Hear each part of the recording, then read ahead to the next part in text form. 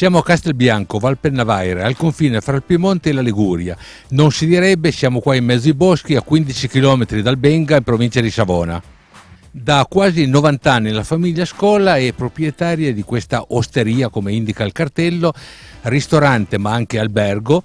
che attira soprattutto i turisti che amano gli sport estremi, per cui l'arrampicata, mountain bike passeggiate in queste zone proprio dove si gode ancora la, la terra e l'aria che arriva dal mare e comunque il bello della montagna. Fa autoscola, chef, terza generazione della famiglia Scola,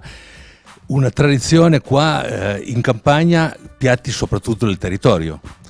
Sì, po' per il cuore perché ci teniamo a mantenere comunque le radici ben collegate al nonno che è nato qua, il papà, io e poi Gabriele che sarà la quarta e un po' perché la tradizione nostra vuole un terroir come dicono in Francia, quindi tutto, tutto il prodotto che adesso si usa dire chilometri zero, però il nostro prodotto, abbiamo la piana d'Albinga qua vicino che è una, una miniera di prodotti veramente unici così come il Basso Piemonte che c'è appena alle spalle, che inutile dire, è ben conosciuto per altri problemi, ma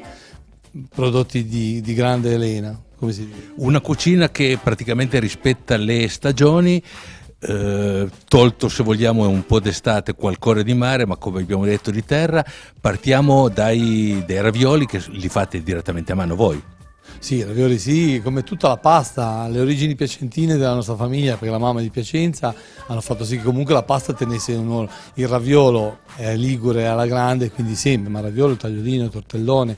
e tutta la pasta, così come tutta la panetteria, paste, focacce, pane con lievito madre, di ottime farine, di costato belbo, il buratto, il, la, la, focaccia alla sardenaira, così come tutti gli aperitivi, la panissa. Diciamo che la mano ha il 99% dentro il nostro menù. Ecco. Qua abbiamo un esempio dei vostri piatti, ad esempio il filetto marinato. Questo è un filetto, un filetto di vitello eh, estivo, praticamente estivo, e ha per ogni chilo di carne, molto facile, un piatto estivo, per ogni chilo di carne ben pulita, 10 grammi di zucchero di canna, 10 grammi di sale grosso e 10 grammi di aromi misti, senza l'alloro, tutto trittato e diciamo che si fascia con una pellicola questo filetto che viene messo a macerare per un giorno intero, una volta pulito, si condisce con un goccio d'olio naturalmente ligure, extravergine e basta, tutto qua. Gli aromi come presentazione, in questo caso all'interno abbiamo messo